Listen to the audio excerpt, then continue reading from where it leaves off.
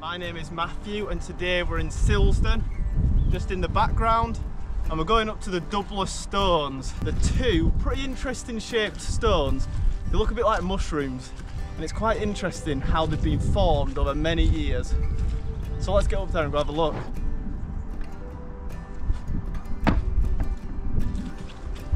Had to come back through here because I didn't look at the route. We're supposed to go over there. Dear. Oh no, bloody hell.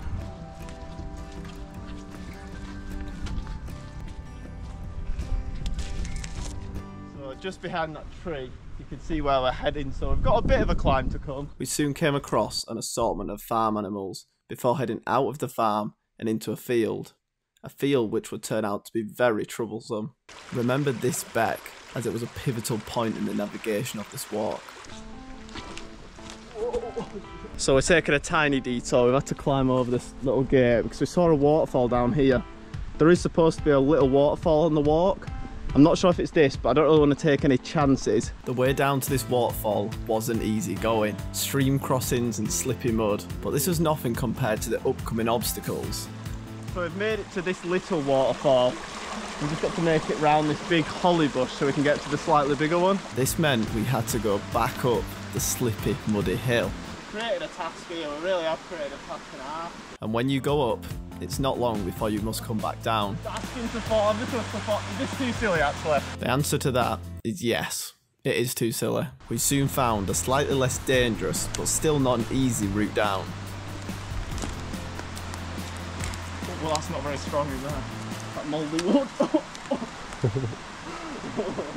Finally, the hidden waterfall was in sight, albeit obscured by the trees, which could only mean one thing. so that means going up and back down again.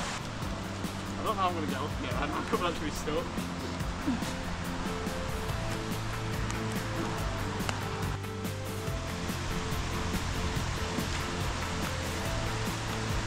Eventually, we arrived at the foot of the waterfall. That was not easy. This whole ordeal had taken over 20 minutes, which wasn't a problem, but unknown to me and Adam, we have missed our turning and we're now heading in the wrong direction. So we just came up from the bottom of this field up to there, thinking that was where we were going. Turns out we need to be at that farm there, and we should be on the bottom of the field. Walk along, drop down, and then climb up to the farm. After a slight navigational mishap, we were back heading in the right direction. Or so we thought. All this getting lost is hungry work, so I'm gonna have a quick chocolate twist. Mmm. That is good. As we dropped down to walk along the perimeter of the field, we noticed another waterfall just a short distance away. In typical up to summit style, we had to take a detour to see this. So we're gonna have a little wander down here quickly is the operative word because we are in a rush. At least this time, a gentle descending path took us down to the fall, so no more sliding down hills. But this is actually quite interesting. That nice bridge there, I'm not sure what that was used for because it's not that wide unless it was some sort of old railway line. Pretty cool little spot. Little drop there.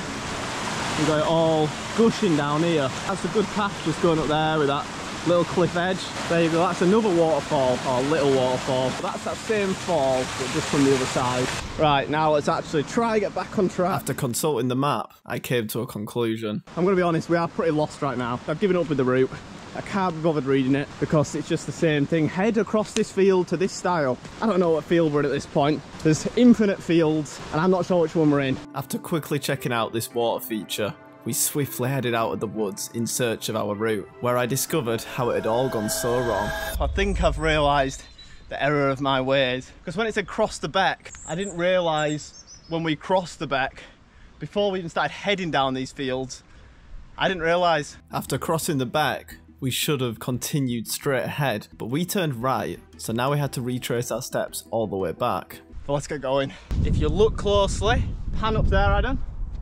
That little gap in the wall, that is our correct route, the route we should be on. Eventually we made it back, but that was a hell of a detour. An hour plus, probably. It felt good to be back en route. Maybe our luck was finally taking a turn for the best. So much so, I decided to try my luck with the sun. Come this way. Over here.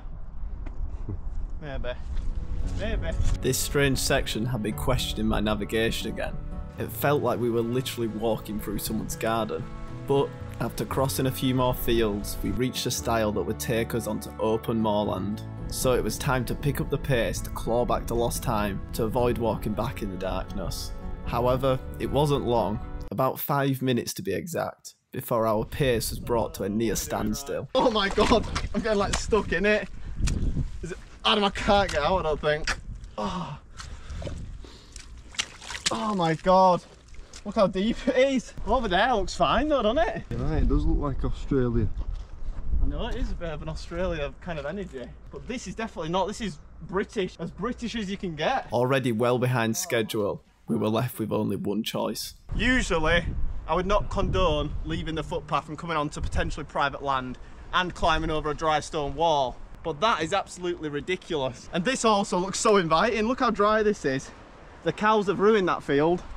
But this is just like a little, a little nature wonderland. This woodland felt special. Maybe it was the unique trees, or the grassy floor which is uncommon in a woodland. Or maybe it was just knowing that we probably weren't supposed to be there. But we best probably head back over towards the wall as much as I'm having a great time in here. So we've just made it back onto the actual path. Sorry to keep everyone waiting for so long. I know you've clicked to see these stones and we're still not there, but let's get to them now. Right, so I know I said we were going to get to the stones next, but the stones are just over there, I'm pretty sure.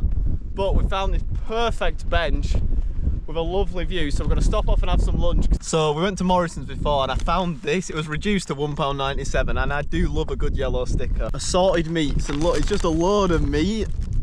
How cool is that? I don't even know what that is. What is that? Unbeknown to me, I'm pretty sure that was an ox tongue.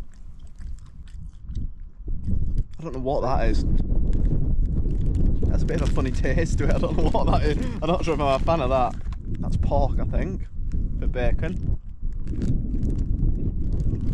What an interesting purchase. After overstuffing myself with an abnormally large quantity of assorted meats, it was time to set off. Our next stop will be the Doubler Stones. Finally. So, if you look in the distance, do you see something that looks a bit like a mushroom? Because I do. And that means we're finally at the Doubler Stones quite big, aren't they? So these rocks are thousands, even millions of years old. And they've been carved by the wind, the rain, ice over millions of years. And the reason they've got this unique shape is because on top you've got millstone, which is slightly harder.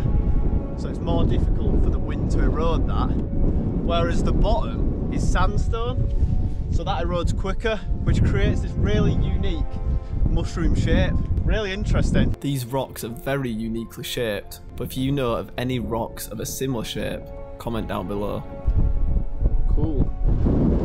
Here's the other one. This is, I think that one's a bit better. This one still has the mushroom effect, but it's just not quite as good as the other one. We had a quick clamber up the rocks before heading for a woodland waterfall that lies in the valley below. So I've yet again had another navigational error. It is not going my way today. We're supposed to be just over to the right. So what we're going to do is we're going to try pick up the stream down here and follow the stream upstream. Hopefully it doesn't take us too long because I don't really think there's a path there. We've had to climb this fence because we've got no other option other than turning around and that is not happening. But we found this pretty cool little stream. With darkness quickly rolling in, time was of the essence. But I had to make time to see several waterfalls that seemingly got more impressive the further downstream we ventured. That's a pretty cool one.